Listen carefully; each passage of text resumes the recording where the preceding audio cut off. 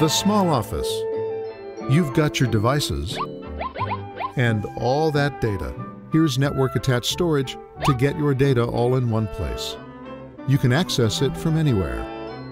It doesn't really fly, it goes over the web. This is just for effect. And send things from anywhere, where it goes safely and securely back to your office storage server. You can even remotely back up data to your server with a cell phone. Say a laptop in the office goes down. Load the backed up data and applications on another machine and you're up and running. Even people with a ridiculously clean house that looks like a stock photo need to organize their data.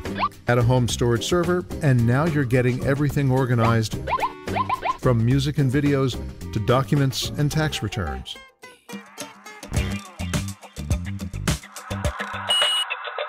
Grab some music off your server wherever you are. And send your personal data securely to your home storage server.